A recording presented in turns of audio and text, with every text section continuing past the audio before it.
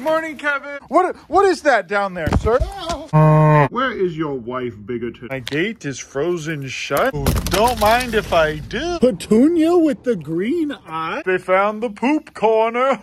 okay, Popper, let's go. Good morning, everybody. Today I'm going to be going to pick up a couple clappy blappies from somebody who can't take care of them now with this weather. It's very cold outside right now, and I'm bringing my little tortoise inside because he can't be in 40 degree weather, and the cappies can't be in 36 degree weather.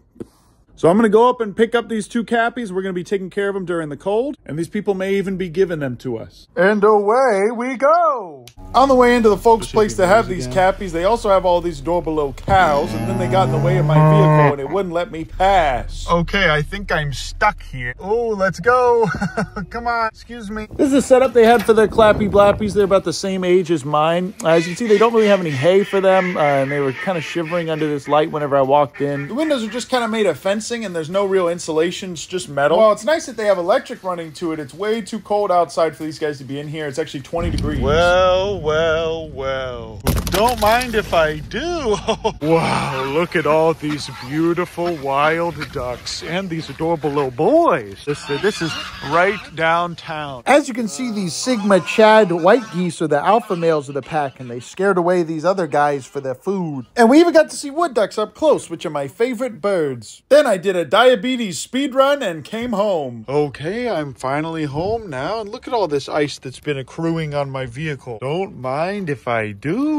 Looks like the gate is frozen shut. There are literally icicles everywhere. Wow, look at this icicle here. My entire house is just covered in ice. And just look at my car antenna. Wow, this doesn't even make any sense. Wow, look at this. Okay, the clappy blappies are doing well in here, and so are the marsupials. Everything is neat and clean in here for the most part, and we are ready to introduce our new siblings. And here they are, you guys. This is Gort and Quandale. As you can see, Gort is the one on the left, Quandale is the one on the right. These two, I believe, are both, I can't tell what gender they are just from looking. wow. We can tell these ones are different because they are a little bit smaller than Gort and Quandale. Although they're probably about the same age from what I've heard. Don't think they were getting fed the same amount. Wow, look, this is them meeting for the first time. Look at Gort sniffing that little boy. The beauty of capybara friendship and acceptance. Happy blappies. This truly is the moment in Urban Rescue Ranch history. And this is a much, much warmer place than the last place they were at, with much more forage and hay for them to chew on, much more fresh water for them to drink, not to mention much more food. And I'm going to put two more heat lamps over here for them as well. Looks like they found the poop corner. okay, we now have two heat lamps right here. And as soon as this big nightmare is over, I'm going to let these guys all free range outside again. It looks like the trees are all icicles and the yard is completely flooded. But it's a little dark, so I'm to go ahead and wait in game like in Skyrim.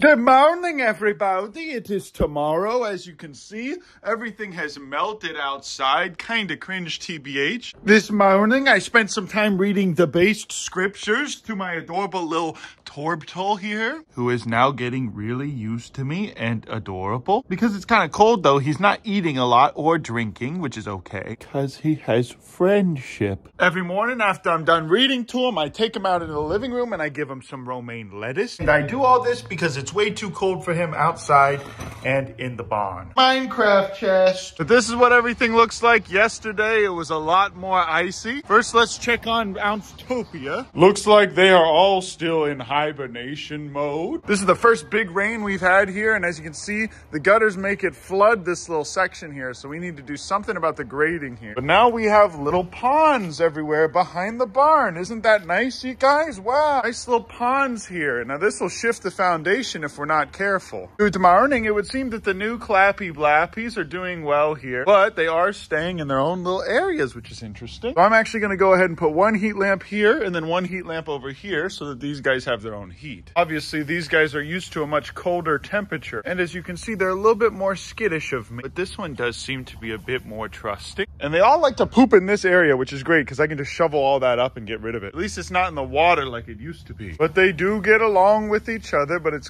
clear that my Clappy Blappies are much larger than these other ones. What's nice though is that these guys can finally be in a place where they don't have to worry about freezing to death or getting rained on indoors. And they also have infinite stuff to chew on, whereas before all they had was wood chips. It's nice of those people to reach out to us and give us these guys, but that should be a lesson to everybody watching this. Don't just go out and buy Clappy Blappies if you don't have a proper setup for them through the winter because they do need to be kept nice and warm. Even 36 to 38 degrees is too cold for these guys long term. And I saw frozen raindrops inside little things inside their enclosure. So it's safe to assume it was at most 32 degrees for these little guys in there. But likely it was probably a little bit colder. Actually still have one to two more days of this nasty weather. So before I can let these adorable baby boys out, we're gonna have to wait one or two more days. They are all doing great on food though, and they have lots of little things to do in here and chew on. Both enclosures are great on water, even now that we have two more boys. Whoa, is that hit rapper and artist a baby? Whoa, the baby, how forward. you guys aren't even halfway done with their water and it's still nice and clean. And the wobbies are pretty comfy and adorable, except for that one who is very cringe. Oh, is that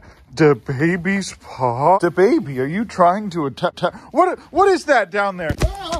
What is that down there, to baby? You're being cringe. Okay, I'm gonna leave them alone for now. Ah, ah. I think these cappies are really happy here and they're enjoying having all of this space to run around and play. I think this is actually the most space these little guys have ever had in their entire lives. Okay, I just fed all these dinguses. They've been all hanging out here because they want to eat the goat's food. Petunia's still got her own little shelter in the front and I'm really glad I did that because this would have been horrible for her. Like I've said a lot of times before, you guys, the snow doesn't really kill most animals and the the cold doesn't kill most animals, but what does is freezing rain. The pond filled up pretty nicely. All the grass is gonna grow back in a couple weeks, which I'm really excited for. In the last video, I told you guys that I wasn't gonna be putting the emus and the ostrich in here because they would be fine. And my buddy that actually does have a big ostrich farm, he didn't move his birds inside and they were all fine apparently. But I love my dinguses and I didn't wanna take the chance. So when I started to see icicles forming on these guys, I wasn't gonna just let them stay outside. But they did eat all their food, so I need to get them some more. There's still tons tons of puddles of water from the rain just about everywhere here. But all this grass is gonna be nice and healthy after all of this. Okay, good morning, Kevin. Roll call. How's everyone doing in here? Perfect. Okay, and they do have a little bit of food down there, but just like I thought, a lot of water got in here. But because it's like 35 degrees and the water's sheltered from the wind,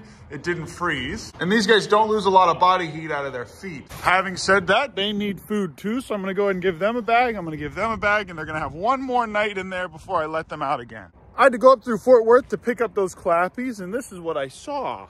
Kinda cringe, TBH. If I didn't have a Jeep driving through that, that would have been a nightmare. But there you go, children. Some fresh kibbles and bits for you. Don't forget to share with Homelander now. Well, looks like Kevin's still attacking that fence. Oh, I suppose I'll give him some food as well. well, looks like the troublemakers escaped, but these adorable babies stayed. I filled up the food trough over there, and Karen's just getting to nibbling. I suppose it's okay if Soldier Boy comes out as well. It doesn't really matter too much much now. The big thing is the freezing rain is no longer here. For the next couple days, it's not gonna be too cold. Oh, look at him hopping around like that. Look at this adorable baby boy. Oh, Karen just did some little hops too. Look at her. Now these guys get to get back to eating some fresh grass in addition to all of that food I just put in there for. Nothing quite like watching Rhea zoomies after they've been cooped up for a few days. Look at how fast them boys can run. Well, I suppose that's it for these guys. I'm gonna go ahead and move on and feed the other animal. But man, did we get a lot of rain in the last couple days. Just last night, all of this was ice. So that's another reason to keep these animals cooped up because they could slip on that stuff and get hurt. The dogs have been preferring to hang out in the bus lately, which is kind of adorable. And Queen is fine in this weather, but Poggers gets a little too cold. Petunia is thriving in here. I need to give her some more food and water. Wow, Bakerton's Ouncerton. Hello, my beautiful, handsome man. I've missed you. This man came out because I threw a bunch of food on the ground. Oh, where is your wife, Bigoton? Ouncerton. I wish I could see what it looks like down there. Maybe we could strap a little camera to them so they can show us what their den looks like. Either way though, guys, most people keep their prairie dog enclosures in tiny little cages like this. So this is a phenomenal setup for them. They get UV light from this thing now, so now they get some vitamin D, and I'm not completely depriving them of sunlight. They have infinite water over there, and they barely drink it. And I supplement their feed with this prairie dog specific formula, and I throw it over here to encourage foraging. Even though all this hay spray is also their food. Okay, thankfully these hoses still work and they didn't freeze. Went ahead and put this little boy on here. It's very important that you guys do that so that your lines don't freeze. We have two more nights of sub-freezing temperature. We'll go ahead and let Petunia out so she can drink her cringe uh, water. Drink this water, Petunia. Petunia's always been really good about not destroying her watering bowl. Wow, look how precious she is. Oh, she's got colorful eyes. Normally you can't see her. Does she have green eyes, you guys? Petunia with the green eye? Who would have thought that she had such beautiful irises. What a perfect, majestic creature. Okay, I just gave her some food. She has the rest of this place to wander around now. I don't think she'll be escaping anytime soon. Queen, per usual, ran over to chew on something that we were cooking in the fire. Oh, look at that precious girl. The Pobber. Time to give Pobbers that fresh drip. Stop it, Queen. She's just attacking him. Is that hit rapper and artist Pobgers? Tipping on faux foes? Pobgers? Okay, Popper, let's go. Goodbye. Bye, Popper. All right, guys, that's it for now. Thanks so much for watching my video. I love you. I appreciate you. This is what the last four nights have been like. I've just been living in here with this thing. It's really not that bad. I don't know why more people don't do it. I, am going to crank up the humidifier for him in a little bit. Also, Bimbus is still at the vet slash daycare and will be home tomorrow. But I love you guys. I appreciate you. And I'll see you in the next video. Oh, almost forgot to tell you.